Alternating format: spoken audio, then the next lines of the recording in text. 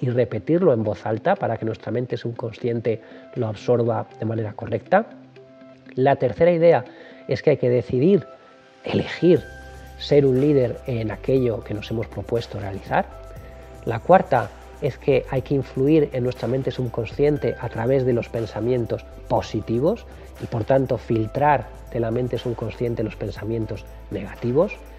Y la quinta idea es que hay que actuar, hay que hacer cosas, hay que evitar postergar lo importante y por supuesto suprimir la indecisión, la duda y el temor. En definitiva, actuar.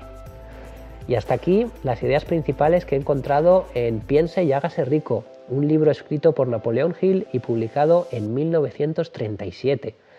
Espero que te haya gustado. Ya sabes que si te interesa conseguir este resumen en formato PDF, puedes dejarnos tu correo en nuestra web www.ideasparavivirmejor.es.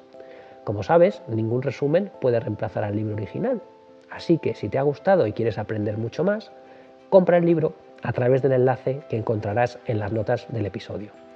Y recuerda que si quieres que en próximos episodios extraiga las ideas de algún libro en particular relacionado con el bienestar físico, mental o financiero, podéis dejarme vuestros comentarios. Os leo. Gracias y hasta la próxima.